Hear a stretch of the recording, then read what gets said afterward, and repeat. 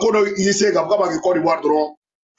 u bɛ taa ka taa ee fantomu dɔ bɛ yen fantomu min bɛ maliko kɛlɛ la a bɛ maliko kɛlɛ la wala ani ayisa jalo ka di i b'a fɔ kabako bɔn dɔnku ayisa jalo de bɛ don o kan sisan ka taa ka taa bila bingini na dɔnku a b'a porofite ka bingini ɲini ka maliyɛn den bɛɛ fa n'a bannen mɛ ne tɛ jugu la dɛ i bɔra minnu bɛ ka kɛ ne tɛ jugu olu la mɛ maliyɛn minnu bɛ ka don a mili kɔnɔ ne bɛ jugu maliyɛn ninnu de la bɔn la plupart de maliyɛn la a ye na aw sigi a kana ne saminamɛ an minnu bɛ ka don ni jeu kɔnɔ ivoiriyɛnw fɛ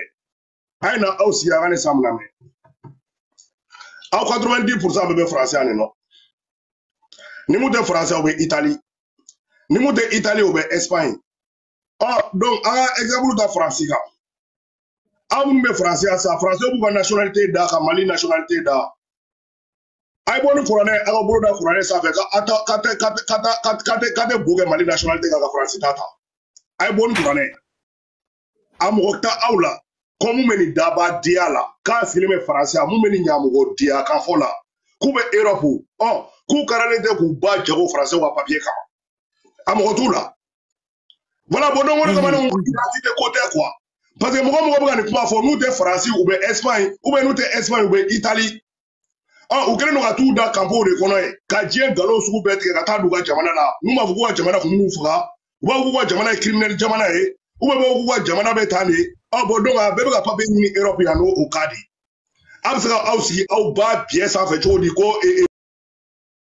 bigini maaw dɔ de don ɔ ko aw bɛn'o ta k'o kɛ ko y'an bolo yan aw minnu bɛ faransɛ n'aw kɛlen don ka aw baw jago faransɛw ka papiye kama aw ɲinɛn'u kɔ wa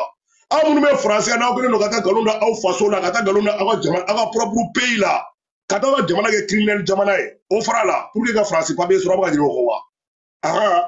donc ok o de kama ne y'a fɔ aw ɲɛna n ko aw de bɛ ka valeur don min na o a ye ninnu to ka kuma fo k'u ba boliɲɛ sote a jɔba ni ni ni ni ni waga ni tile fila ni n'a ka kɛmɛba nin ani ninnu b'a bɔ ɲɔgɔn na fo ka dugukolo meleke don min na rezo so in sanfɛ a y'u to yen sa a y'a jɔ bigini ka un million ka dafa bilahi nka ni ninnu b'a bɔ ɲɔgɔn na k'a fɔ ma k'a ɲɔgɔn ɲa mɔgɔ denma wolo ala kana hɛrɛ kan ka diɲɛnatigɛ ala ala kana alu negosiye ni fɛn fɛn sigilen b'a ba bodigɛ sanfɛ manamana k'a fɔ la u bɛɛ bɛ faransi yan de awo faransiw b'u ka nationalité da sisan ka mali nationalité da sisan u bɛɛ bɛ bo kɛ mali nationalité kan a bɛɛ kelen don ka taa assistance sociale fɛ ka taa nkalon na mali la ko mali ye criminel jamana de ye ko mali kun bɛ olu denw bolo ko de ye awɔ ko mali ye nin de k'olu la mali ye nin de k'u la k'a sɔrɔ a bɛɛ ye nkalon u sigilen bɛ français de ka taa nkalon na mali la pour que ka français ka papier sɔrɔ n tɛ exemple ta i bɔra yen wa dɛ yɔrɔ i bɔra yen ye champion la diɲɛ fara lahara kan mɛ i b'olu bila kɛrɛfɛ maliɲɛ nafigi den jugusago den fa bodingɛ ba biyekisɛ minnu sigilen don manamanakan fɔ la anw donna ko bingine mali maw don ɔrike aw ka aw baw jago faransiw ka papiye nɔfɛ yan aw kɛra n'o ka aw baw ka tigɛ ka joli ta ka taa siri boli sanfɛ pour que ka faransiw ka nationalité sɔrɔ o tɛ tiɲɛ ya saraka den wololen ninnu bigini y'a don bi a y'a don sini bigini in fɔra in den yɛrɛ de walasa ni watara de bigini wolo aw ɲinɛ n'olu de fɔ walasa ni watara ka den adoptif de bigini ye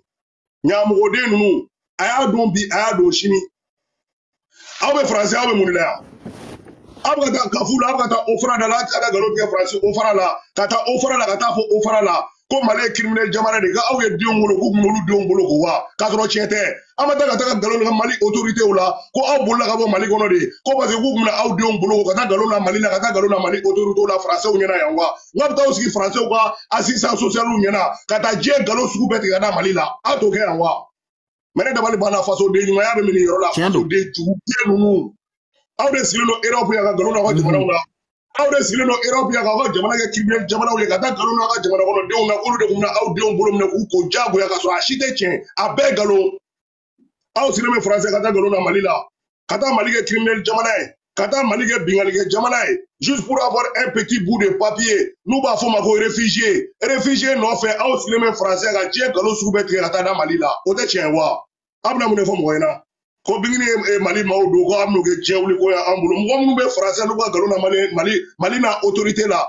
ko olu kun bɛ olu faga ko olu kun bɛ olu ka olu denw bolo ko u yɛrɛ porobilɛmu bɛ taa ko mɔgɔ dɔw sigilen bɛ faransi ka galon na mali otorite la mali tubabudenw yɛrɛ ɲɛna yan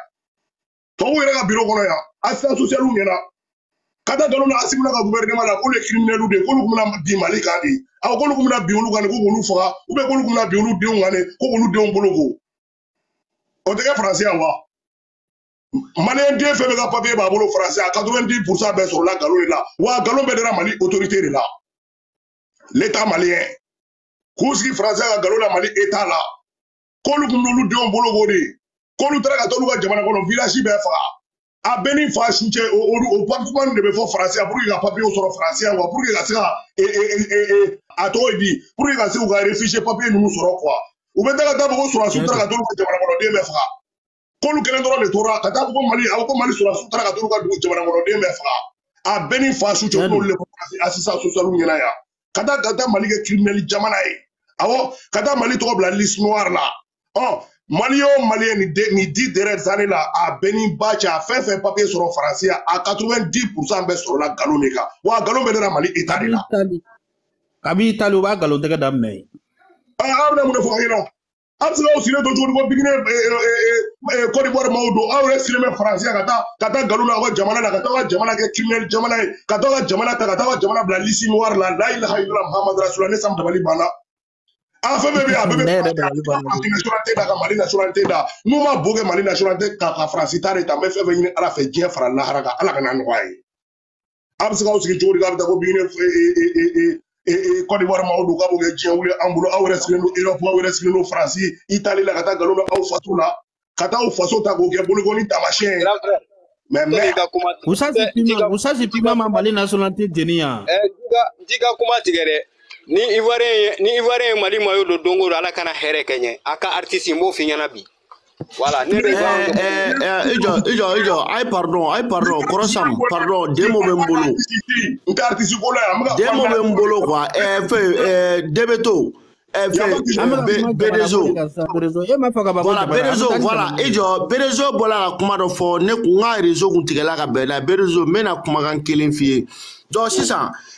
ɛɛ mun na i ko bigini ye mali maaw don ko ɛɛ bɛɛ ko hɛni b'u ni ɲɔgɔn cɛ mɛ pourquoi ɛɛ u sɔnna an ka zɛriw ka taa ɛɛ ɛɛ kɔrivari no ni ni ni maaw doli kun lamɛn sa ni maaw doli kun ye kojugu ye an ka an ka eta kun ma a bale de fɔlɔ ko ɛɛ ɛɛ an ka zɛriw tɛ taa kɔrivari ne ma deli la Vampire, i ka kuma cɛ ne parce que k'a ka jɔriw tɛ taa kan na dɛ bi la ne yɛrɛ tun bɛ bingi buruja o tɛ se ka kɛ voilà donc o de ye problème ye mais pourquoi Mali ye eh, fɛ eh, jɛriw bila ka taa ni mɔgɔ tun kan ka buruja fɔlɔ jɛriw de tun bɛ buruja non o tɛ se ka kɛ o o ye Afiri u yɛrɛ bɛ de bɛnna kan o tɛ se ka kɛ o Oh, mɛ n'u bɛn'a kan kɔni u b'a yira ko bɛn ni keleya de bɛ yen dɔw bɛ taa alizeriw bɛ taa jɔ yen u bɛ t'u fɛ bumabɛl bɛ maliko defa mun kɛ ne t'a cɛ la rezo so ta bɛ buma ɲɔgɔnna kɛ tɔ bɛɛ ka hakɛ to dɛ an bɛɛ bɛ maliko kɛlɛ la an bɛ asimu defa asimu ne yɛrɛ bɛ san nɔfɛ bɛɛ b'o kalama de bɛ facebook sanfɛ